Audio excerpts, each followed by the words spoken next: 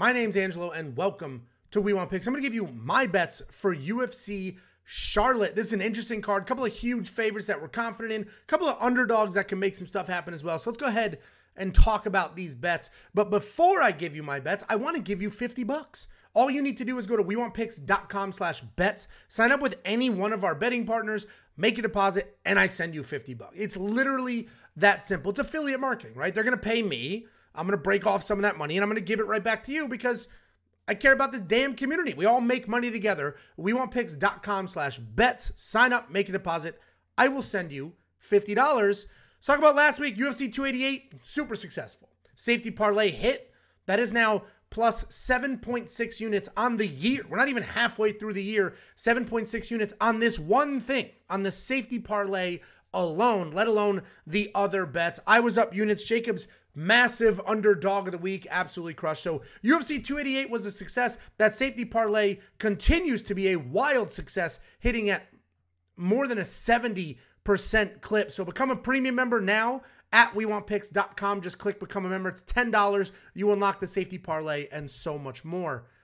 You also get things like the line movement tracker. This is very helpful when placing bets. You can see that line movement. And then if you agree with it, great. If you don't, then you can hop off a fighter. For example, Court McGee opened at plus 140. He's going to close in the minus 180 range. So wild line movement for him. There's three fighters on this card that open as underdogs, will be closing as favorites. And that's something to keep an eye on and something to help you identify your spots or at least avoid a couple of landmines. Again, this and everything else available to premium members for only $10 a month.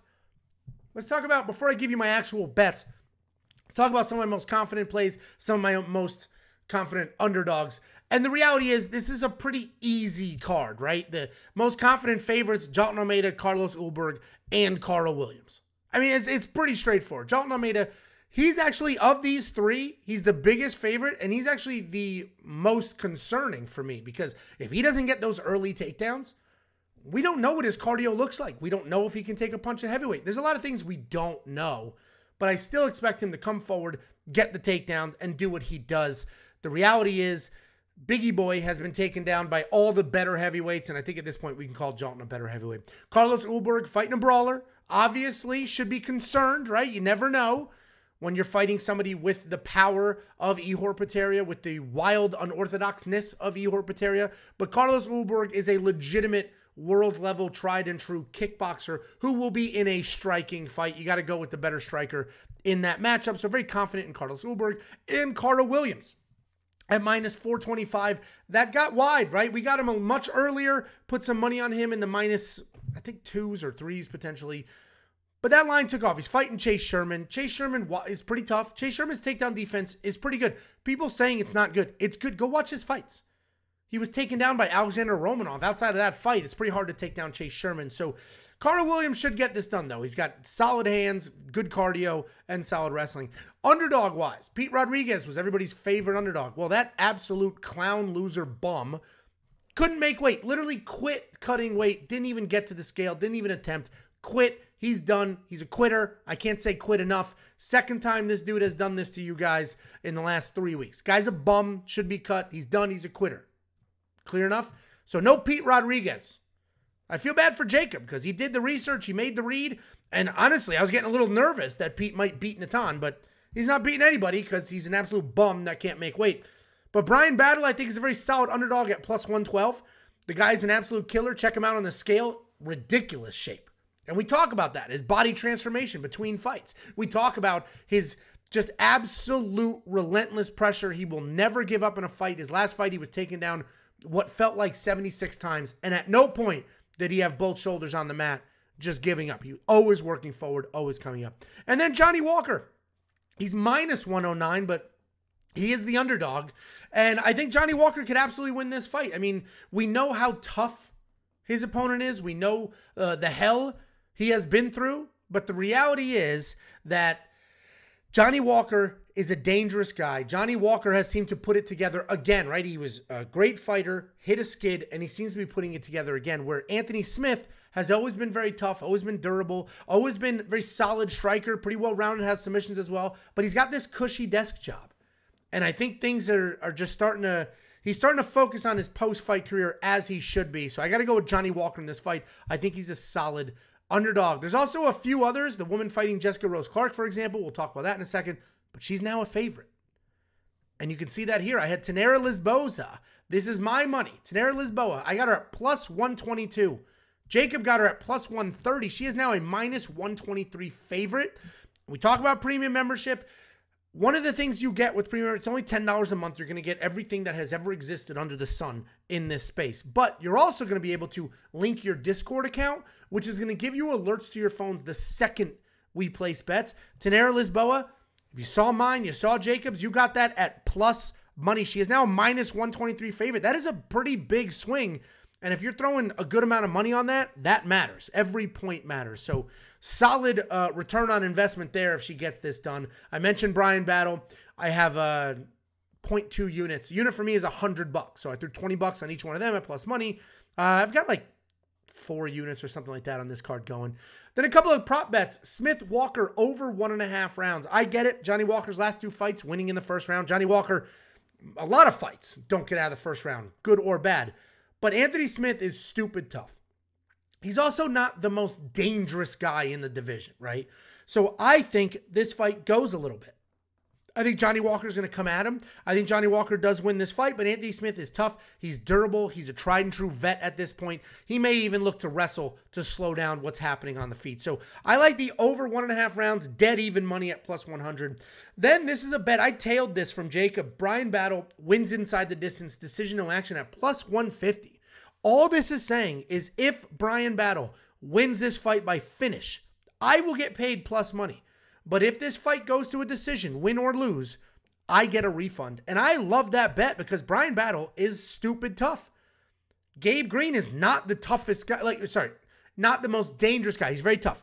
But Gabe Green is not going to go out there and just finish Bryan Battle. So, what I envision here, worst case scenario, is I get a refund. Best case scenario, I hit the Bryan Battle money line and plus 150 money on a finish. Then I have um, two parlays going. I have over two and a half rounds in a prop parlay. I got Kim Bohm and then Green Battle plus 106. So I got a lot going. If Bryan Battle gets finished, I'm going to lose a good amount. But if it goes to a decision, uh, I'm good, right? This parlay should hit. And if Bryan Battle wins, not only does the parlay hit, but I get the money line. And then we have Carl Williams and Carlos Ulberg smack those two together as a money line parlay. It's minus 153 when I got it. Now minus 194 again. Become a premium member at WeWantPicks.com. Link your Discord. The Discord's free. You can join the Discord anyway.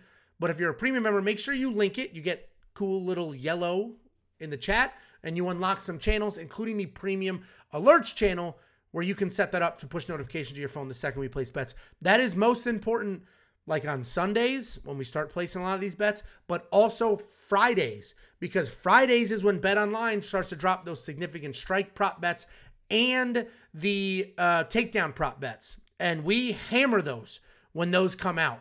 And those lines move very, very, very quickly. So the alerts are incredibly important. But we can't leave this video without talking about the safety parlay and Jacobs bets. I'll get to Jacobs in a second. But the safety parlay, this is for premium members only. This is the safety parlay for every single event in 2023. It is up 7.6 units. It is hitting at over 70%. And honestly, look closely. A couple of these wins had adjusted odds. So 0.3, 0.2, when those were should have been a unit or close to it. So the fact that we're up 7.6 is already amazing, but it should be closer to 9 or 10. But we had some drop fights, and you know, when parlays, a fight drops, it just adjusts the odds. But if the only thing you ever did, let's say a unit for you is $10, and the only thing that you ever did was pay $10 for premium, go in there and then tail the safety parlay, well, we're in month five. So 50 bucks gone, 7.6, you'd be up 2.6 units on the safety parlay. You can't beat that. And this 7.6 units is just net profit once you factor in your membership fees. It is still up very, very solid. Hits at over 70% win rate. Unlock that now at WeWantPicks.com. And here's a quick sample. Jacob's got more than uh, 10 units going, and I'm filming this before all of those props drop. So when those drop, I guarantee there will be more. And here's a quick sample of what he has. The rest of them will be for premium members only. Alex Morono minus 212, Cody Stamann minus 155. He did do a nice little flyer on Jairzinho Rozenstruik first round KO TKO at plus 1200, which that's shockingly high because if he wins the fight, that's how. So that's a surprisingly high. I mean, that those odds should be closer to his money line. But anyway, he got that at plus 1200. Then Ian Garry wins by decision plus 125. I personally like Daniel Rodriguez, but that's a phenomenal bet because Daniel Rodriguez is super tough. Ian Garry winning a decision at plus one money when he's a minus two some odd favorite is a solid, solid bet. Guys, don't forget, I will give you 50 bucks. I pay out thousands of dollars a week. All you need to do is go to wewantpicks.com slash bets. Make sure you use our link to create your account, make a deposit, and we send you 50 bucks as a thank you. That's wewantpicks.com slash bets. Sign up, make a deposit. We will send you 50 bucks.